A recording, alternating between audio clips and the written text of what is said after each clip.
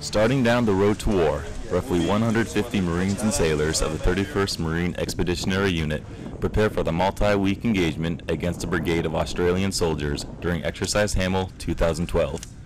Golf Company of Battalion Landing Team 2nd Battalion, 1st Marines, will use their distinct tactics and abilities to test the oncoming Australians with a fighting style foreign to their own, adding that extra sense of uncertainty and realism to the scenario. The U.S. Marines will, will bring a very light expeditionary focus to this operation. We'll see a little bit of what they do with their tactics, techniques, and procedures, and they'll see some of what we do. The Marines will become familiar with the unique Australian environment as they conduct foot patrols and guerrilla-style engagements, all aimed at certifying 1st Brigade for operational deployment. Corporal Jonathan Wright, Shoalwater Bay, Australia.